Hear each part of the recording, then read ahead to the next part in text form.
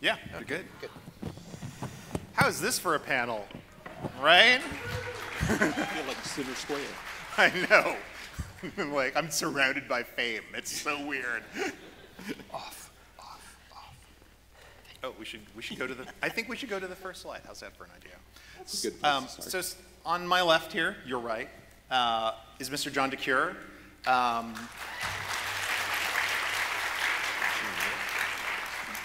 John was at the very, very beginning of the development plans for Epcot, and he's going to tell us why there is even a spaceship Earth, because uh, there's always a reason for everything, right? So I, I, will yes, let sir. you start with that. All right. Well, uh, I began early on and was invited to come to WED. Uh, I had been at WED for about three years, uh, sort of doing a little illustration work, did some ride work, did worked on the Hall of Presidents, and some interior contemporary work at the at the Contemporary Hotel in the Polynesian, and worked uh, for Marvin Davis, who at that time had done a lot of work on the master planning on Epcot for Walt. Uh, I went away, took a three-year sabbatical, came back, and began a pretty intensive study on, on the master planning for Epcot. Because I'd had that previous experience with Marvin, I was sort of prepared for that. And it was early on that we determined, decided, Marty decided with John Hench, that we needed a, a, a major introductory show uh, for the project. And uh, hadn't even conceived the name Spaceship Earth yet at that point. Uh, but we called it the Future World Theater. And uh, I, there's a rendering of me somewhere here where, where I'm painting this yeah. this great auditorium with thousands of people. Well, we'll catch up. We'll get to. Right. So, I, I, just want to yeah, we had no idea yeah. what was in that theater at the moment. but uh, uh, so let's let's go to the next slide. Oh, this one. So we started to look at the historical precedent for these kinds of uh, exhibitions that predicted better ways of living. This was what it was all about. This was what the basis of everything that Walt had talked about was, was developing, and, uh, promoting, and exhibiting new ideas on better ways of living. And many World's Fairs previous to that had, uh, had accomplished that and had done that. That was their theme. So we went back and took a look at some of those previous experiences. The early Paris Exposition with the Eiffel Tower, uh, the 1939 World, well, and there's some other historical moments here. Yeah.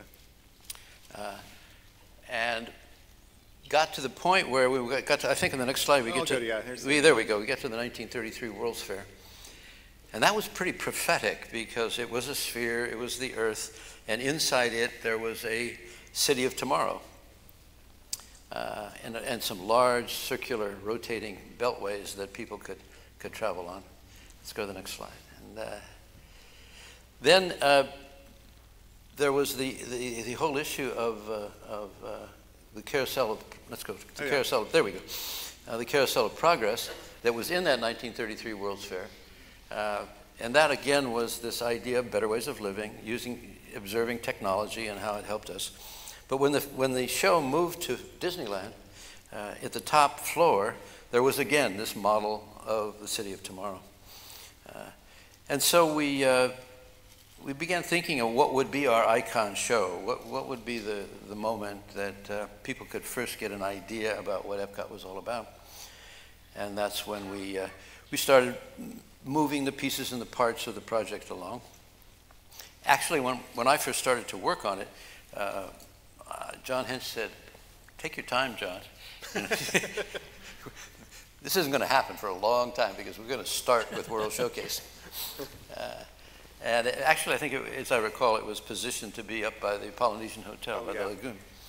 Uh, and the original design, walking in the door for me, was a very contemporary uh, uh, facade for each of the pavilions, almost like an airport design. And uh, a gentleman came, and here we were sort of moving those pieces and parts around, trying to figure out uh, just how Epcot worked.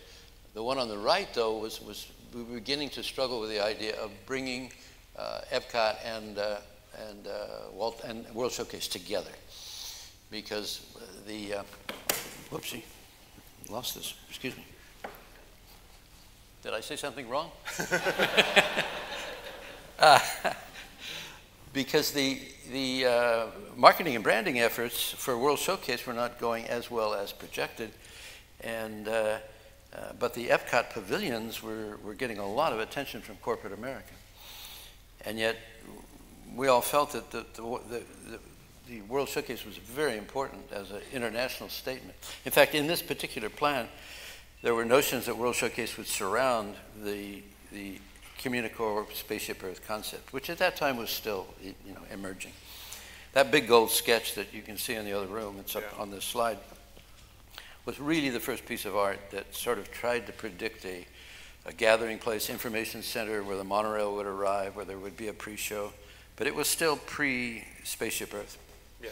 And you said even on that one, it was just you were just indicating that would, that there were pavilions. Yes, you can there see to the left. There was not anything specific. No, we just felt that there would there would be these the pavilions that would demonstrate uh, better ways of living.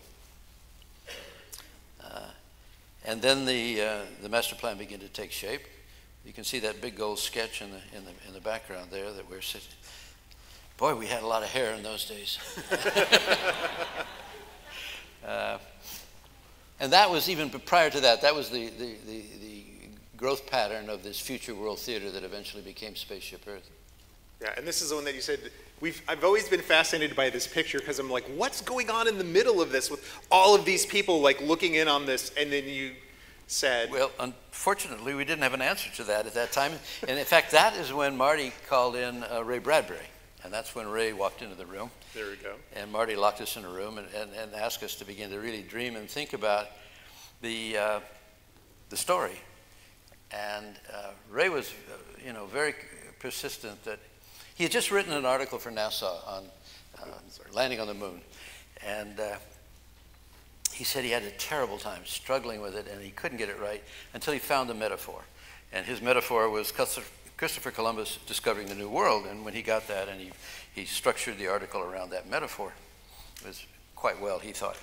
And uh, he said, We've got to find the metaphor. And we did search, and, and, and, and this is then what led us to Buckminster Fuller and his operation manual, Spaceship Earth, and the idea that we are traveling through the universe at thousands of miles a second. And that we better take care of Spaceship Earth. And uh, it was then that, uh, because Bucky had also designed the geodesic dome, that all the pieces that we'd been researching seemed to come together. The idea of an icon monument, a sphere that represented the world, uh, a sphere that could be traveling through space and leading us into the future, and the pieces begin to fit and come together. Ray was insistent that we tell this, the prologue to that uh, story of the future by looking into our past and singling out key communication moments and a RISE system uh, to take us through those uh, communication moments that you know very well uh, seemed very appropriate to leading us into then the Communicore, which was to be the, uh, the modeling warehouse idea center for new ideas that would lead us to the pavilions. Uh, originally, that ride was, was talked about being underground. Until I think Bob Gurr got involved. But, See, that would have worked better. He might have stayed had see, they yeah, done that. You know, right? I, I, I, understand he had a good talk this morning, and he talked about my father. Uh, and my father was a rather flamboyant, creative guy, and he, apparently Bob was in a meeting on, uh, as I understand it, was in a meeting on uh, uh Energy Pavilion and came in and gave them a lot of wonderful ideas and then said, good luck, boys, and left the room. and got on a plane and went. He was always somewhere in the world besides where he was supposed to be. Uh, and it was, but it was fascinating. At this point, the dome was used for projection at the end as a finale, right? But the main ride was actually not inside of the geosphere. It yeah, was we, we had the, behind we, it. We had the pre-show of descending in time, and then the ride, going through the ride, and then coming up back into the dome for the finale yeah. into space. So if you see those old, I don't have a photo of the model, but if you see those pictures of the model where it's it's kind of like a brownish dome, and then there's this large kind of open space behind it. That's because the ride was underneath that large open space. So you look at that model in a completely different way now. Yeah, like I said, Bob took care of that real quick. Uh, no, there were things down there that just didn't allow us to do that, and it eventually had to. Yes, we have the water but, table in Florida. You know, I take, I kind of take that. I follow after my father. There's, uh, uh, fortunately or unfortunately, depending on how you look at it, a little DNA in there. So as we got to this point, you know, I, I escaped too. went back into live action film, flying around the world, and, uh, and left it to these good people to figure it all out, sitting over here on my left. But, uh, Which brings us to Peggie. Hello, Peggie. Hello. Hi, everyone. Those are some old pictures. Yeah, well, tell, tell us how you got your start here at uh, WED. well, so my start starts a little before that. I started at Disneyland as a ride operator on Storybook Land. And I, it was a great summer weekend job. And so I worked in the park for five years. And in 1969, they took 10 of us out of the park to bring us to Central Florida to participate in the press conference that would announce the first phase of Walt Disney World. And they were just moving dirt around at that point. So Seven Seas Lagoon was excavated. They were moving the dirt to the theme park site.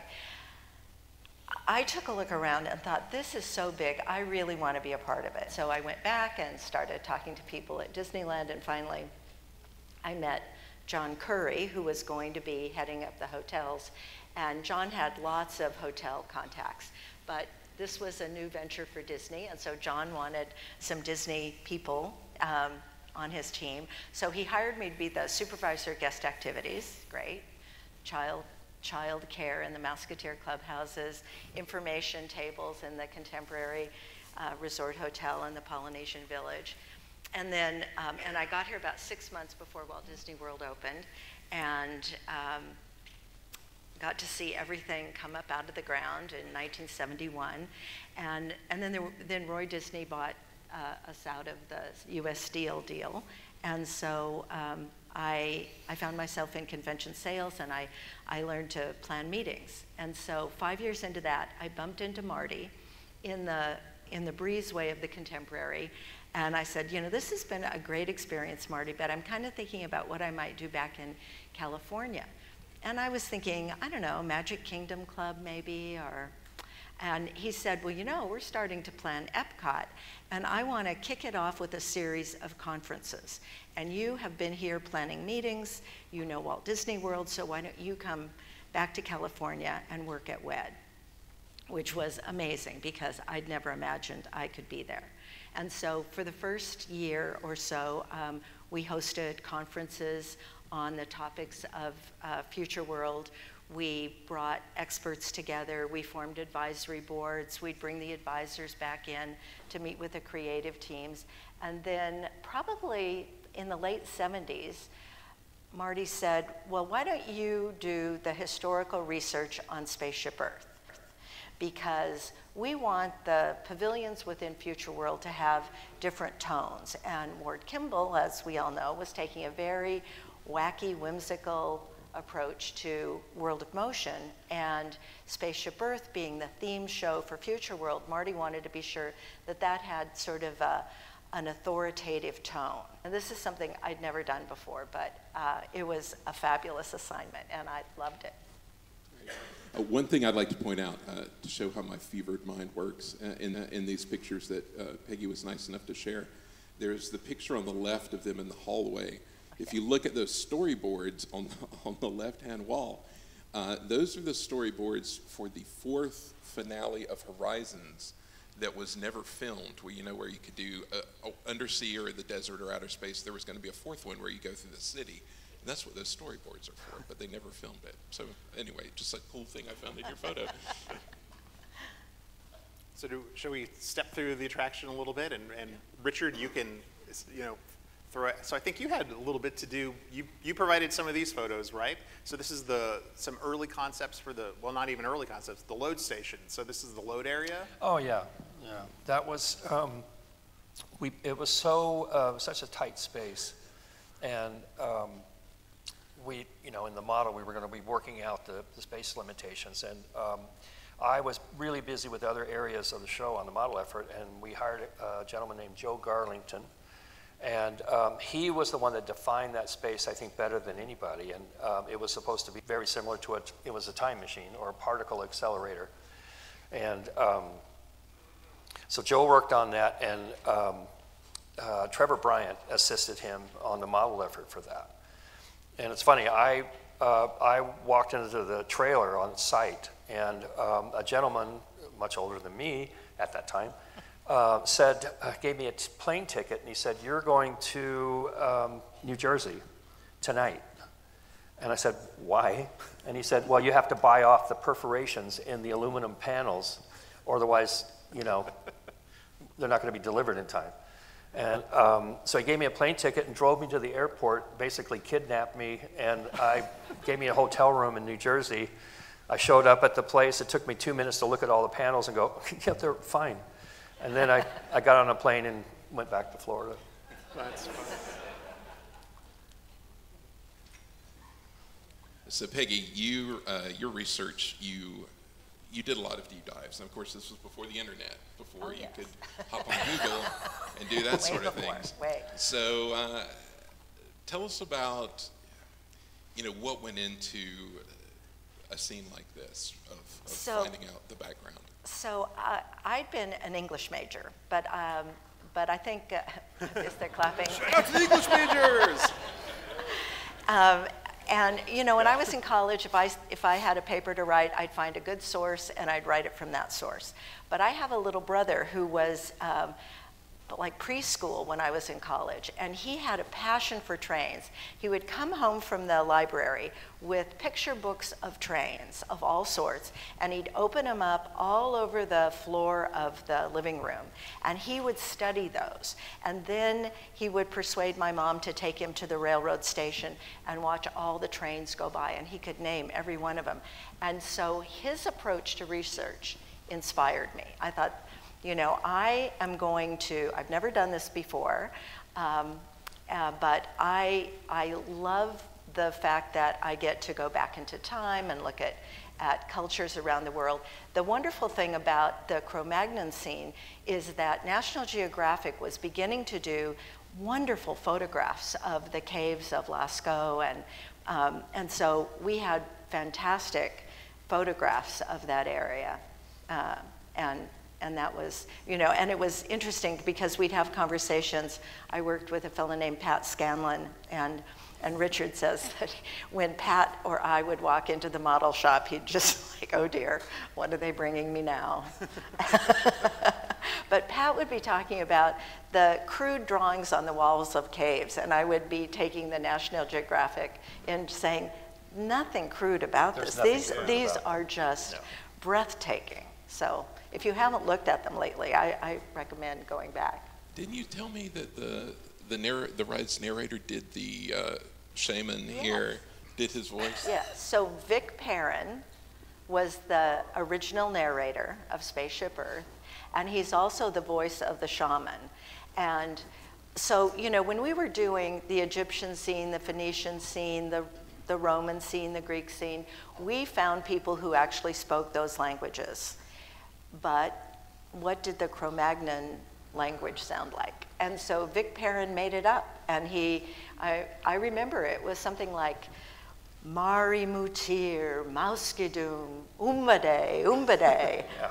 Remember that part? People, fans call that guy Ubade today be- because of that line, yeah. Of course, the same level of uh, study went into the Egyptian scene as So well. we found, we had, we have a wonderful research library at Imagineering, and I my name is on half the books there, and they were such a great resource because you could say, I need an Egyptian expert, and they found a local professor, Dr. DeGrassi, and, um, and I called him up and said, we're doing an attraction, we really want authentic hieroglyphics, uh, so I took him out to Tujunga um, because the team there was looking at what's the what kind of material can cover the walls that will simulate sandstone. And I think they were grinding walnut shells or something at that point. Yeah, that's spring. Okay, and, and carving in bas relief, just random hieroglyphics. And Dr. DeGrassi stood there in con- deep contemplation, and then he turned to me and said, This doesn't say anything. I said, Exactly, that's what we need you to do. And so he would hand draw the hieroglyphics that you would see on the columns and tape them together and bring them to our office in Glendale. Um, he also found a letter that a, a pharaoh had written to his vizier, an administrator out in the land. And this letter essentially says, and you, you know, in the scene, the pharaoh is dictating a letter to a scribe who's, who's writing on papyrus, hieratic writing. And, um, and the pharaoh is saying, You represent me um, out in the field, and I expect you to conduct yourself appropriately. And if I may, and I, thought uh, it was fascinating that you said you had to find like the one exact period in time. Oh, we did because you you know the Egyptian history goes on very long. There were so many pharaohs, but we needed one where it was late enough that so it was early enough to have um, uh, hieroglyphics being carved onto the temple walls. And then we also needed it late enough that they were writing on papyrus and turning, and you couldn't you couldn't write the hieroglyphics as precisely on papyrus. So it became a kind of cursive writing, more hieratic writing. And so the Pharaoh says, in the suit and seshnet suit chati, imen hotep, ankwaji seneb, imirahe tanijatjat, and titima.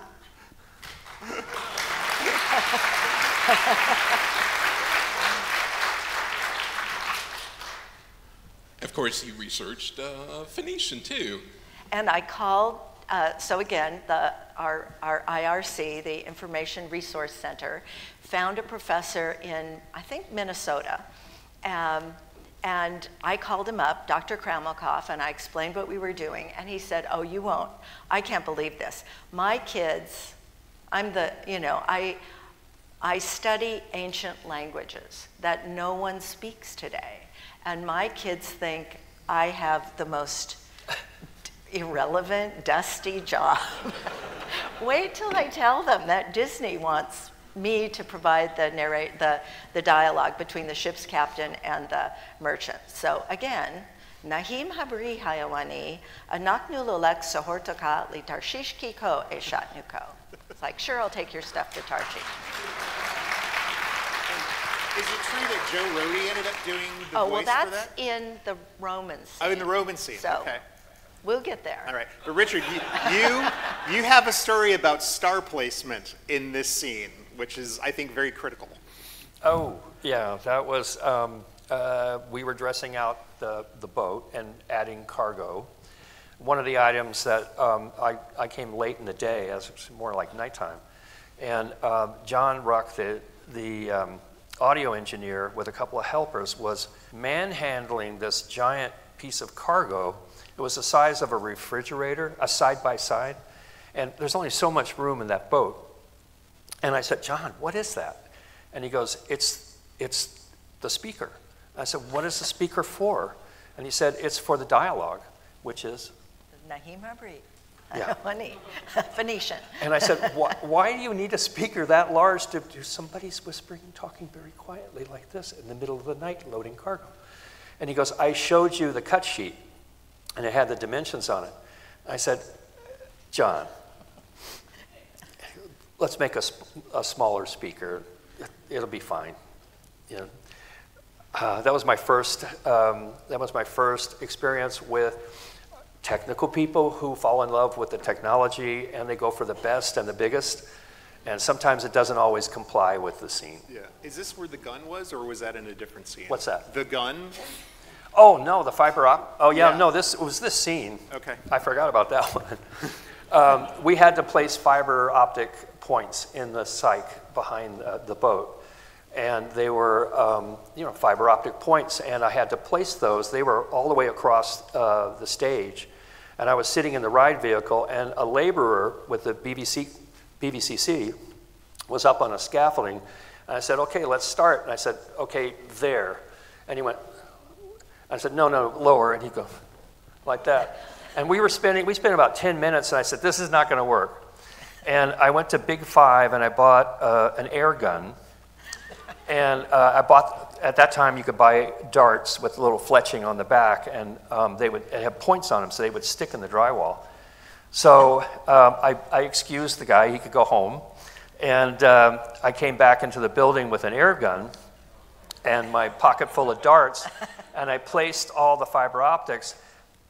But one of the security guards had seen me come into the building holding a gun.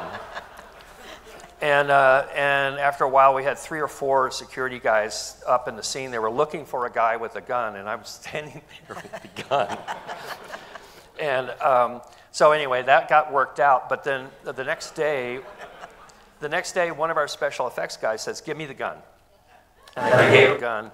And he, um, he did an entire steampunk uh, treatment on it. So there were dials and other attachments, and he sprayed the whole thing brass. And he put a label on it that said uh, fiber optic location device. so you ever have the theater where they were performing? It was Oedipus, right? Yes. Right. Uh-huh. But Peggie, you told me about an effect that you all attempted for this scene that didn't really work out. Well, you know, the great thing about Imagineering, Wed, is that you get to do things you've never done before. And because I'd been working with, uh, with the audio department on recording the, the dialogues, I thought, you know, the Greek scene, there'll be an audience behind. You won't be able to see the audience, but we're suggesting that you're part of the, the audience as the vehicle moves through the scene. So wouldn't it be great if we just could find a way to replicate the sense of an audience? And so uh, I, I recruited three or four other Imagineers. We got some Duvetine. We sat on a little bench in the, in the recording uh, booth. And the idea was, you know, people are there in their togas and they'll be shifting their weight throughout the performance and maybe scratching their arm and um, clearing their throat and uh, and so we, we did that, and then we laid that down several times. And the effect was like an asylum, like people were ridden with fleas, and so we never used that. and I didn't become one of those directors. and, and I don't I don't even think I ever noticed on the ride that there was a whole, there was an audience behind you because you're so raked, focused, right? Yeah, it, there was a raked audience scene that was really quite a rake. It was, I forgot what the angle was, but um, a couple of years later, we are working on a redo, and I walked through on third shift, and I noticed a, a square cut on the side of the audience, that mass, and there was light coming out of it. And someone had taken a saw and cut through the drywall and made a hatch. And I walked over and I pulled on the tape, and um, apparently the third shift guys had made a whole apartment up there with mattresses and lights and, and everything else. And um, I don't know if they went there after their shift or they just spent third shift watching TV and Spaceship Earth and the Greek theater scene. If there's any third shift guys here, I'm, i apologize. So we have Rome, so I should shout out to the little projected animated charioteer guy. Who has a lot of fans apparently. And uh, so again, there, there was something that you had to bring up, Peggie, for yes. this. So I was very junior. I didn't get to go to the, the show set buy-offs, but Pat Scanlon came back from a review and he said, John Hench says that we need something on that wall as you leave the Greek scene and head into the Roman scene. There's, there's a wall to your left, and we need something from the 12 tables of Roman law on that wall. Well, I'd never heard of that, 12 tables of Roman law, but I went to the library and they contacted UCLA Law Library, and the next day I had this tiny little book filled with the 12 tables, all in Latin, and then translations below, I found a piece that nicely filled the wall. And, and then I thought, oh, I don't speak Latin, but I know that there'll be guests of ours who do, so I better know what this says. And it said, if you are summoned to appear in court, you must appear. If you cannot afford transportation, it will be provided for you, but the cart need not be covered with pillows. That's like a travel policy in ancient Rome. then we, so um, it, it's a little dark there today. I, I saw it yesterday, you know, two days ago, and, and so it's still there, I'm sure. So, um, but then we were in the, we were casting for the senator and the centurion. And I had a Latin speaker because he'd also given me the Greek and Egyptian, but, um, but I needed a second Latin speaker. And someone said, Well, you know, there's a kid in the model shop who speaks Latin. His name is Joe Rohde. and so I recruited Joe, and he and Dr. DeGrassi had a brief conversation off to the side, agreeing on pronunciation, and then, you know, you go through and the centurion strikes his chest and says, Vale tibi quoque. And that's Joe Rohde. And for Pompeii, you pulled uh, actual uh, Actual, Graffiti. actual graffiti from Pompeii and Herculaneum. There's The- a book. The clean stuff. Well, well, I looked at everything, but we only sent you the clean stuff. Okay. But it's stuff like I'm in love with the redhead, and you know the equivalent of your mother wears army boots. I mean, they were felt very contemporary. My favorite thing, we were uh, talking about this uh, ride a, a week or two ago.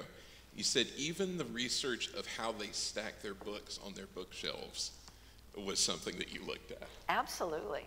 Well, you know, the wonderful thing is there are so many beautifully detailed manuscripts, illustrations um, that show the costumes. A lot of the in the in the Arab world, the scholars have these sleeves that uh, go inches down below their hands. You can see how they stack their books. I mean, it was just those visuals were so uh, relevant to providing information to the design team. I, I got a call one day saying, We're doing figure finishing, and what kind of makeup did the Egyptian royalty wear? And it turns out they dipped their fingers into henna up to the first digit and malachite on their eyes and but you know the visual things were the visual references were really really important really valuable We talked before about the across, you know, repurposing of the uh, figures, the AA figures out of the sculpture department. So uh, the pharaoh is Andrew Jackson from the Hall of Presidents And this, with makeup on. This scene had such beautiful, all that mosaic work. uh, Like when you look Oh, at these gorgeous. pictures, it's really the first time I've really appreciated like how much effort was put into the sets, and I'm sure that all came from the work that you were doing. We actually, there was an amazing book in the, the IRC that was being used. It was being used for the Morocco Pavilion. And um, that book, I actually pulled a lot of those patterns. And the ones on the wall are called zellige.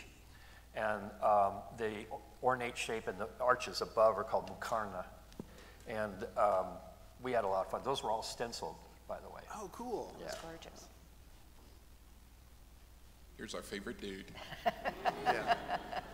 The guy on the left never gets any credit. The actual like worker, everyone, yeah, doing his job. right. He's just doing his, doing his nine to five. And, Never gets The guy on the right's Grover, Grover Cleveland, by the way. oh, that's funny.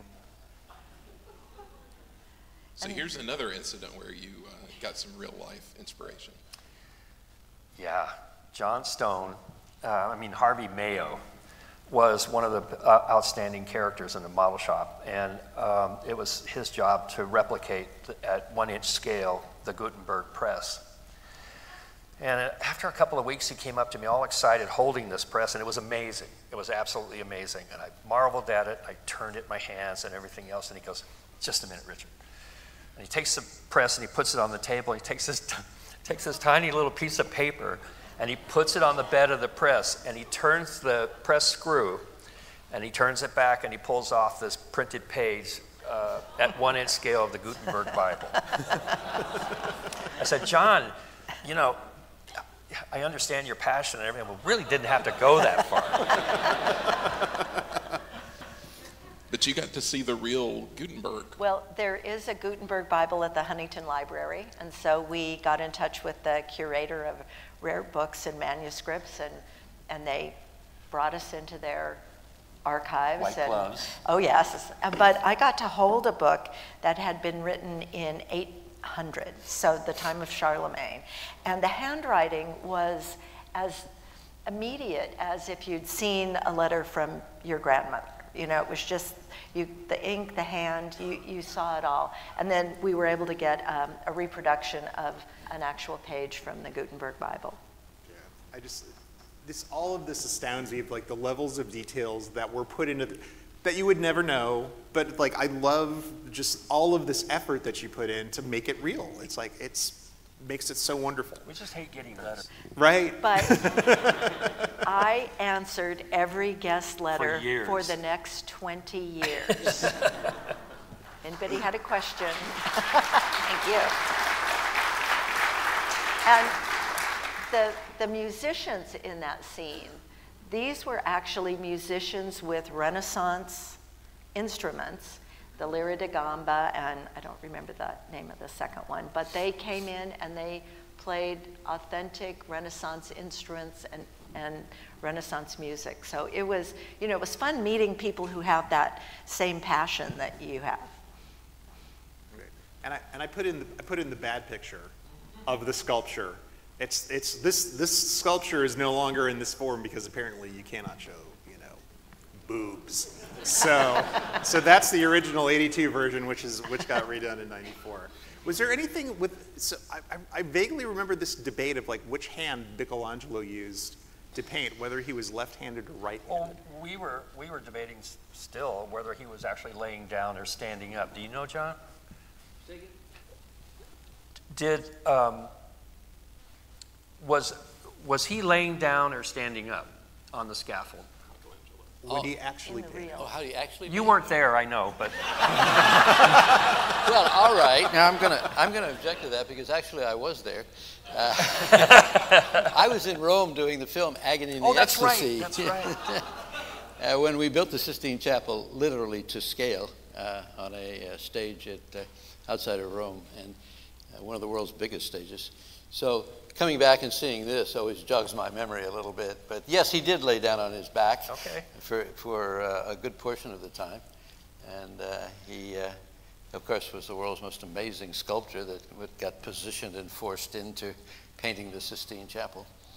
Uh, and the, uh, the whole idea of this notion of telling story through imagery, and it's really the continuous kind of story from the cave wall. Yeah. You know, it progressed from the cave wall to stained glass windows and cathedrals to Michelangelo painting, you know, in the Renaissance painting uh, frescoes. And one of the things that I think is interesting is the, this, this tremendous amount of research is, is so important. Uh, and it's important because the, the attempt is to uh, entice the audience, to immerse the audience into the idea. And I think John Hench used to say quite correctly that our job is to eliminate the contradictions. And, and, and we really, as designers, need to sit there, and, and this is what all this research accomplishes. It eliminates the contradictions and makes the, uh, invites the audience to be more immersed in the story. And the better job we do to immerse you, and that's one of the exciting parts of Disney's contribution, was uh, those of us in live action film, you know, we deal with a flat screen. And Walt came along and said, that's not going to work anymore. You know, I'm going to pour my audience into the story. I'm going to put them on Main Street and let them walk through the experience. And of course, the, the, uh, the, the ride tech, technology and the ride systems enhance that even further, where we picked you up off your feet and put you into the story. Uh, so I, I, you can't really do a good job uh, in this world of storytelling until you deal with those issues, especially this issue of research and authenticity and audience immersion.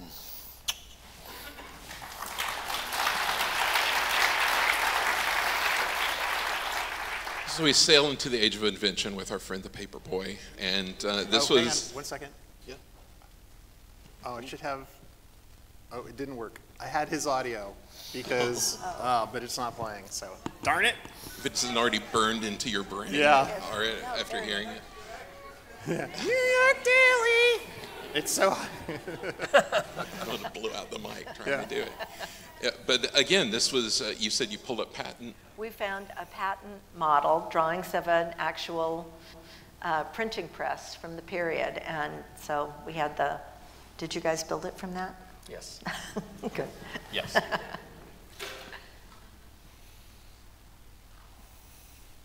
And we also have the, uh, the telegraph office, which again, accurate in, in the uh, message that's being relayed. We found a ca- uh, calendar from uh, the, from the month, the day when the Golden Spike was being, had been driven uh, for the Transcontinental Railroad. And it's, it appears on the back wall of the telegraph office as he's dictating the, the news of the Golden Spike being driven. And you had a funny story about finding a appropriate piece of film to be part of the cinema scene uh, that was here. So we needed, we needed a piece of black and white with sound um, from a, I was thinking from a film, and I can't tell you how many, how many uh, VHS tapes I looked at, and I'd find 45 seconds, and then it would cut to something totally unrelated. And I was in tears in my office. I remember Francis Geisen came in to comfort me and say, It's going to be okay, you'll find something. And then we found Fred Astaire and Ginger Rogers dancing in Top Hat. And it was so glorious. It was just so beautiful. And it's something that everybody was familiar with as well. And it was so clear. The, the photography was so clear. Now I think it's um, newsreel, which would have been so much easier.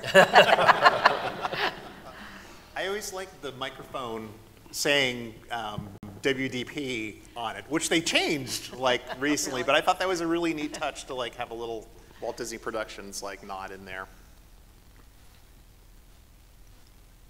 So we go on into the future, and you had told me that uh, someone from NASA had helped you get, get the audio for this for the uh, Well- for the moon landing. You know, we were meeting so many amazing people throughout the course of developing Epcot, through our advisory boards and, and just because um, people of all, in all walks wanted to help us. And so we met um, a fellow named Joe Allen. Um, do you remember him? He, he had been the, he'd been the voice when, um, when um, they when I guess his his voice is the eagle has landed, and Oh, yeah, yeah, yeah. so he he was he came in he was wonderful and and gave us a connection to NASA and we were able to get the the some of the dialogue or some of the you know dialogue between the mission control and the astronauts. This was when, um, also the telephone scene, starting with the telephone scene um, and going through to the uh, communications center, uh, we had to become less literal in the staging and more, you know, suggestive. And that's when the black, that's when we used the most black paint in the facilities. we had to make everything else go away. It is really interesting how you go from very dimensional surrounding sets to all of a sudden these kind of floating sets. And uh, especially uh, with that telephone scene with the windows Yeah. that just kind of, with no brick behind them, but just Right. the suggestion of the building It, it with the windows and the people to in it. do literal set Right, at the right. time. So we just had to sort of blow it up and stretch it out. But people get it. You know? Yeah, it just, it's just, I love that, um, those elements of stagecraft that end up in, in the older Disney uh, attractions. It's just really neat to see that. So we head off into outer space. And that, th- that uh, space station is still there. Is it? It's just painted black now so that you don't know that it's there. The figure probably isn't anymore, but it's how would you remove it, right? So, Right. so right. yeah, if you could go into Spaceship Earth today, if you know where to look, it's like that spaceship that that woman is in is actually still there. Right. Uh, if you could look past Hugh Darley turning the Right. and so, speaking of Hugh, so here's here's the top again, and Hugh kind of told us that story of uh, of like turning the ships, but I always thought this was fascinating. Just uh, the one on the right is just uh, the light effects when you make the transition from the um, from the communication center out into space. So it's just really fascinating. Um, and just oh, and this was a long-standing question that I had. It was like, was there ever anything intended to be on that uh, upper ramp that we always see that you just kind of clear past. And you told me that uh, it was structural, right? The extra piece of the spirally ramp that goes up? Um, the down ramp was tied to the structural steel. Everything was tied to the structural steel, but um, that was, um, you know, people ask if it goes, the floor goes all the way across. The floor appears to go all the way, you know, to the sphere on either side, but it's still not a structural component of the, of the sphere. You know, the structural steel comes from that first platform, built up from that. Right. And I hate to put you on the spot because I never got a chance to ask you this before, but I had heard that there was a little bit more of an elaborate set piece up at the top, as if you were on the moon. Oh, there were there were a lot of proposals for that, and um, one of the post-opening, you know, as time went by, was uh, and Tony Baxter. I think he proposed that the final, the most ultimate communication that you could have may be communicating with um, extraterrestrials, you know, and that would be the pinnacle of communication is speaking to someone outside the world. And uh, I think I did a rendering of that, and I kind of followed Bob McCall's style because he's the best space guy I know. And uh, that's somewhere in the morgue, but um, that was one of many treatments for the, for the dome. Neat. Tony, was I right on that? Okay. He didn't bring that. So uh, before too long, there was a change. Uh, it only took four years, and the Bell system turned to AT and T, and you got a new narrator and a new show uh, at the end, especially. It was Walter Cronkite.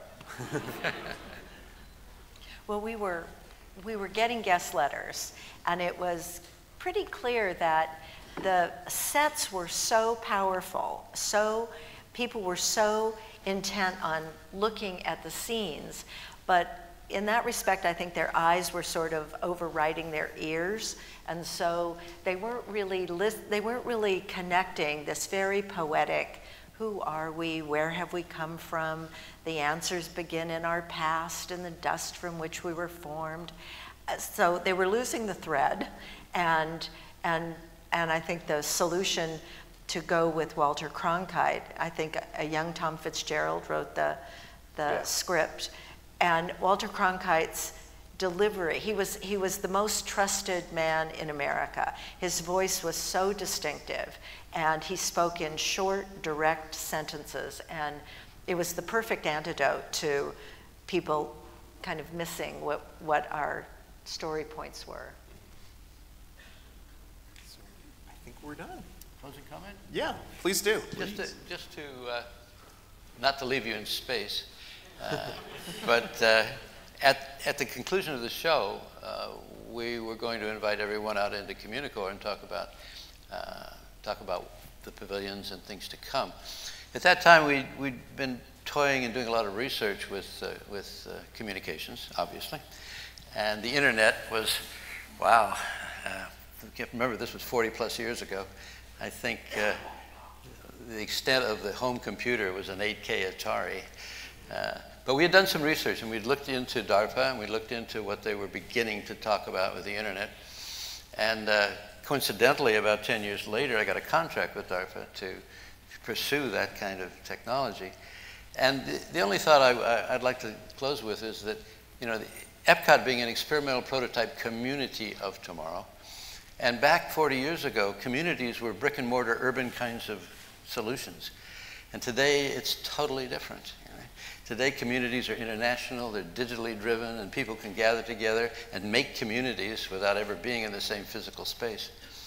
And so this idea of a city, of modeling a city of the future, a community of the future, of a gathering of people with common interests, just as you're gathering here, uh, I think is an, is an, an important concept as you begin to think about what's next.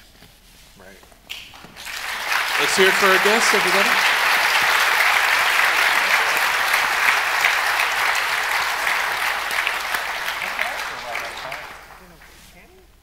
All right. Well, thank you for coming. Thank you very much. Thank you very much.